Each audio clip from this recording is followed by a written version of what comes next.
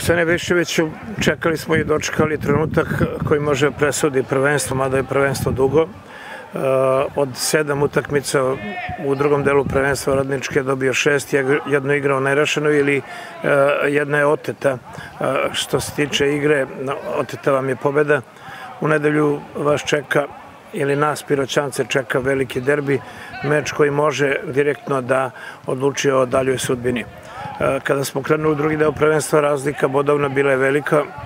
U klubu je dosta toga urađeno da se e, ovaj derbi ili drugi deo prvenstva dočeka na pravi način i sad kada analizirate sve ovo, pretpostavljam da ste i zadovoljni i nestrpljivi, ali rekao bih i oprezni pred derbi u Nišu.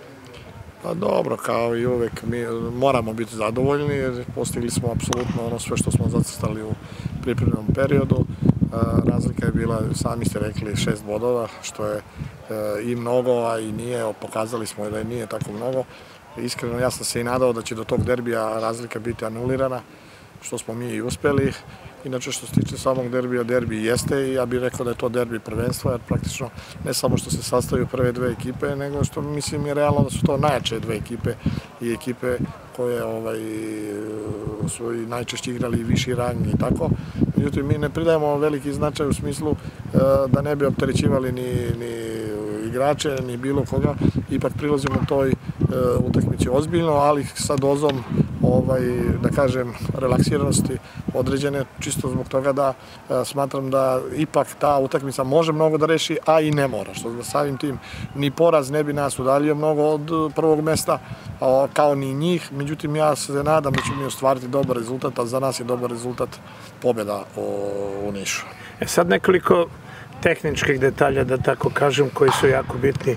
Prvi je da je radnik napravio možda i kobnu grešku uvođenjem jednog futbalera i kažnjavanjem. Oni su e, kažnjeni tri boda, čeka se onaj disciplinski bod ili od 1 do 9, što na neki način umanjuje njihove šanse. E, reagovanje u radničkom u svak slučaju što se tog dela tiče je pozitivno, to je prvo što želim da vas pitam. Drugo, e, bilo je priče gde će se sve igrati utakmica, bilo je dosta poziva našem radiju gde će se igrati utakmica, to je druga stvar i treća koja interesuje Piroćance, to je da li će moći moći organizovano da se ide na utakmicu. O svemu pomalo.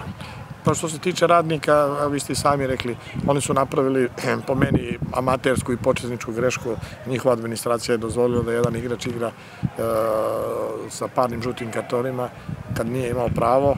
To je, da kažem, bilo otkriveno možda i pukim slučajem, ali ovaj, e, samim tim od njima su utakmica na kojoj je igrao taj Aleksić igrač, to je Žitorađa, njima su te tri boda oduzete i registrovana je utakmica 3-0 za domaćina, za Žitorađu, a i sleduje im najverovatnije, nije najverovatnije, nego sigurno kazna koja se kreće od jednog do devet bodova, ali mi je, eto kažemo, neka bude i taj jedan, što znači bit će ukupno četiri. Samim tim, oni su na neki način udaljeni ovaj, od nas za četiri boda, jer trenutno po starom imali su isti broj bodova.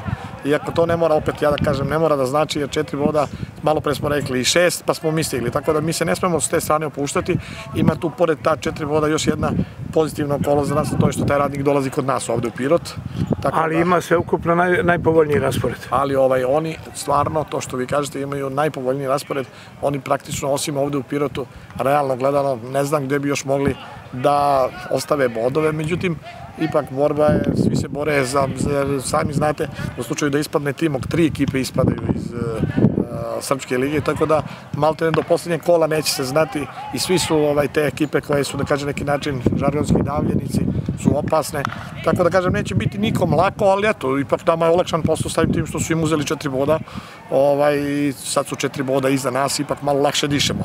Utakmica se igrana ipak na željenom, mada... Da, da, da, utak, bilo je i naša želja je bila iz više razloga da se igra na Čairu, zato što je to i veći teren koji nama više odgovara. Futbolski uslovi. Futbolski pravi. uslovi su pravi stadion, bilo bi dosta ljudi, bit će i ovako, ali tamo bi bilo komoditet veći i bolji, međutim mi to ne određujemo, nažalost određuju drugi domaći domaćini, igraće se na Niškom Old Traffordu, na stadionu Železničara, koji je, koliko ja znam, renoviran i mislim da je i buse nešto rađen, tako da uslovi će ipak biti, da ja se nadam, dobri.